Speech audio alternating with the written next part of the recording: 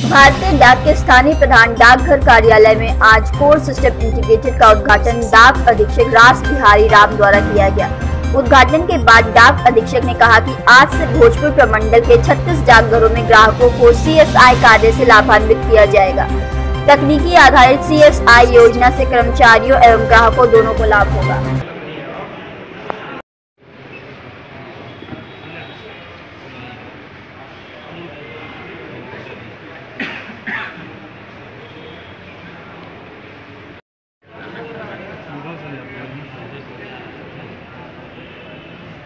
Payment पे click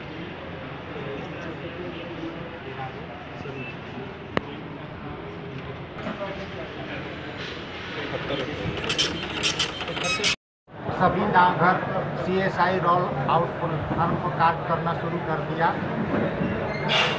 ये C S I department of post का एक प्रोजेक्ट है। डिजिटल इंडिया का जो हमारे माननीय प्रधानमंत्री का सपना है, उसी के क्रम में हमारा भारतीय डाक विभाग अपना कदम आगे बढ़ा रहा है। अपने भिन्न भिन्न सेवाओं को तकनीकीकरण करते हुए भिन्न भिन्न प्रोजेक्ट के माध्यम से सेवाएँ प्रदान कर रहा है। आज सीएसआई के तहत भोजपुर प्रमंडल का छत्तीस डाकघर अपने कार्य का शुरुआत किया।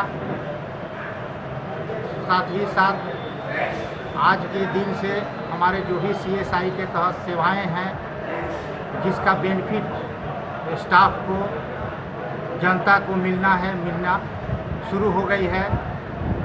ग्राहक ग्राहक कैसे लाभान्वित हाँ ग्राहक का लाभान्वित कुछ सेवाएँ हैं जो तकनीकी के तहत बेहतर सेवाएँ दी जाएगी। ईएमओ ईएमओ का पहले दो दिन समय लग जाता था, या एक दिन लगता था, अब दो मिनट, तीन मिनट कम समय में अपडेट हो जाएगा। स्पीड पोस्ट का जो भी है, पहले दो तीन दिन में अपडेट होता था या नहीं होता था, अब जो है तुरंत अपडेशन उसका दिखेगा।